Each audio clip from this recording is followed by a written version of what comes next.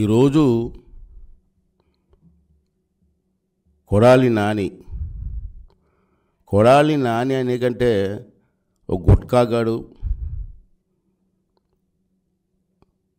లారీలు క్లీన్ చేసుకుంటూ బతికేవాడు అని చెప్తేనే ఆంధ్ర రాష్ట్ర జనానికి అర్థమవుతుంది. ఇటువంటి సన్నాసులు కొంతమంది ఉన్నారు వైఎస్ఆర్ పార్టీలో. నేను అందరినీ అన్నాం. ఉన్నారు వైఎస్ఆర్ పార్టీలో కూడా సంస్కారవంతులు ఉన్నారు మేధావులు ఉన్నారు రాష్ట్రం కోసం ఆలోచించే వ్యక్తులు కూడా ఉన్నారు.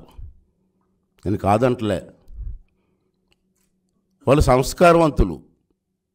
చూడండి గత గత సంవత్సరం నాలుగు సంవత్సరాల నుంచి మనం చూస్తే కొంతమంది సన్నాసులు మాత్రమే జగన్మోహన్ రెడ్డి గురించి మాట్లాడుతూ ఉంటారు. దాంట్లో మనం ఆలోచిస్తే ఈ గుట్కాగాడు పరిగమాని సన్నాసి మెయిన్ సన్నాసి అంబటి రాంబాబు తెలుసు అతని గురించి తెలుసు అందరికీ. అలాగే రోజా అలాగే మా విశాఖపట్నం మంత్రి గుడివాడ అమర్నాథ్. వీళ్ళందరూ కూడా జగన్మోహన్ రెడ్డికి తొత్తులుగా మారి సంస్కారం లేకుండా మాట్లాడే పరిస్థితి మనం చూస్తున్నాం రాజకీయాల్లో విమర్శలు చేసుకోవచ్చు. నేను కాదనలేదు. ఎందుకంటే పాలసీస్ మీద విమర్శలు చేసుకుంటాం. నేను నలభై సంవత్సరాల నుంచి ఎన్టీ రామారావు గారి దయవల్ల నలభై సంవత్సరాల నుంచి నేను రాజకీయాల్లో ఉన్నాం. ఎంతోమంది ముఖ్యమంత్రుల దగ్గర పనిచేసాం ప్రభుత్వ విధానాల మీద విమర్శిస్తూ ఉంటాం.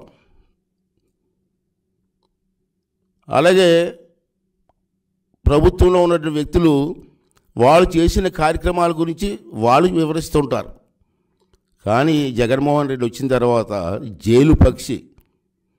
జగన్మోహన్ రెడ్డి పెద్ద జైలు పక్షి. వాళ్ళు స్క్రిప్ట్ రాసిస్తే ఆ స్క్రిప్ట్ చదవడం వీళ్ళ పని. ఎంతసేపు చంద్రబాబు నాయుడు గారిని విమర్శించడం? చంద్రబాబు నాయుడు గారి సతీమణ్ణి విమర్శించడం వాళ్ళ కుటుంబ సభ్యులందరినీ విమర్శించడం. తప్పించి వేరే పని ఏముంది ఏ గుట్కా నాని? నువ్వు మంత్రి చేసావయ్యా. ఎప్పుడైనా నీ శాఖ గురించి మాట్లాడావా? అసలు నువ్వు వెలగబెట్టిన మంత్రి శాఖ ప్రజలకు పనికొచ్చే పని ఎప్పుడైనా చేసావా? అధికారాన్ని ఉపయోగించుకొని ప్యాకెట్ క్లబ్బులు డ్యాన్సులు ఇవన్నీ చేసి నాలుగు డబ్బులు సంపాదించుకోవడం తెలుసు కానీ నీకు ఎప్పుడన్నా నా మంత్రిత్వ శాఖలో ఒక మంచి కార్యక్రమం చేశాను. అని ఎప్పుడైనా చెప్పగలవా? ఏంటి ఆ మాటలు?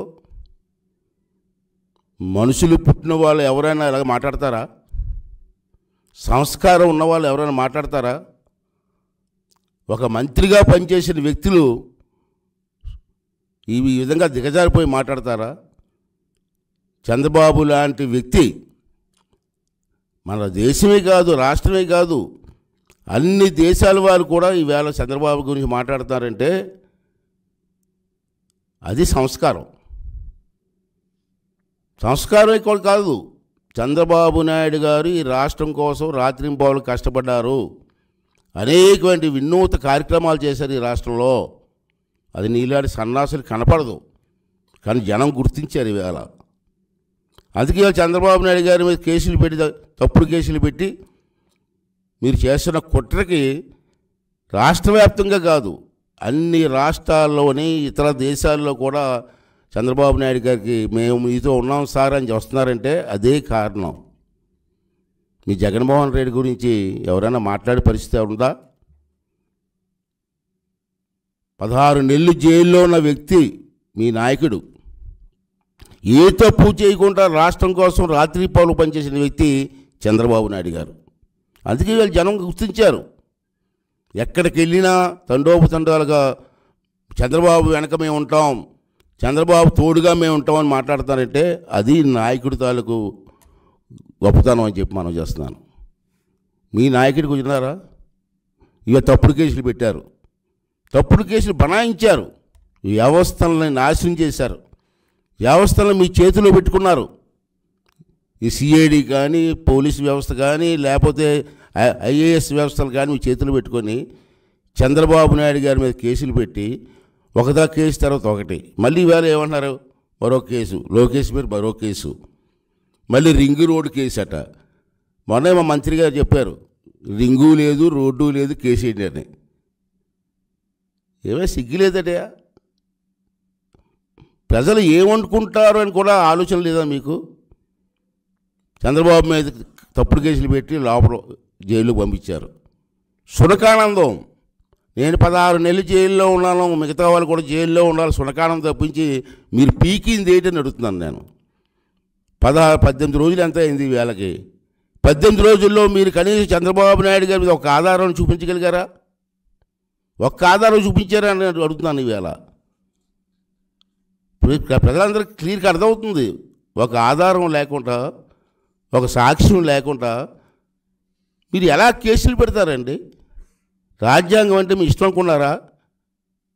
మీ ఇష్టం కొట్టి చేస్తారా?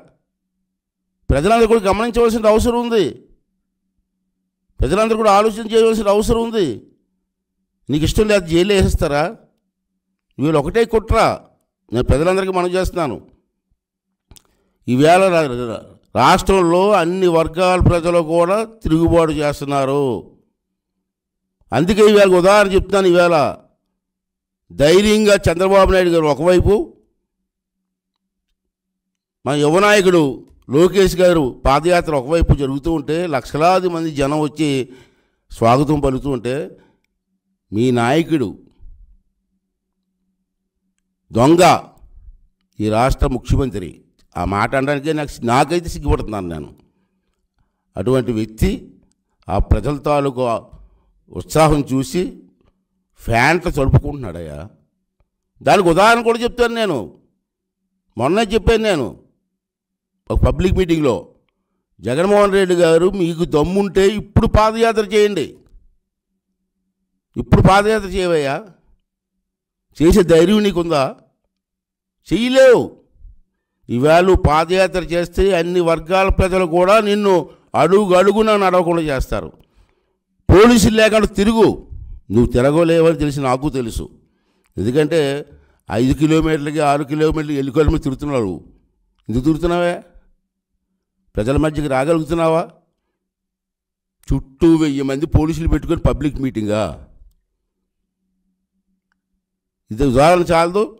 నీ పిరికితనానికి అంచేత వీళ్ళు మనం చేస్తాను జగన్మోహన్ రెడ్డి గారు నీ పెంపుడు కుక్కలకి బుద్ధి చెప్పు. అది కూడా తప్పు అంటున్నాను నేను. నీకేం బుద్ధి లేదు వాళ్ళకేం బుద్ధి చెప్తావు నువ్వు? ఇది పద్ధతి కాదు. ఆ పార్టీలో కొంతమంది పెద్దలు ఉన్నారు నాకు తెలిసి కొంతమంది మంచి వాళ్ళు ఉన్నారు పెద్దలు ఉన్నారు వాళ్ళని ఆలోచన చేయండి అయ్యా. ఏంటి దుర్మార్గం ఏంటి? అరే చంద్రబాబు నాయుడు గారిని అన్యాయంగా లోపడేశారు. చంద్రబాబు నాయుడు అకౌంట్లో ఒక్క పైసా వచ్చినట్టు నిరూపించగలరా?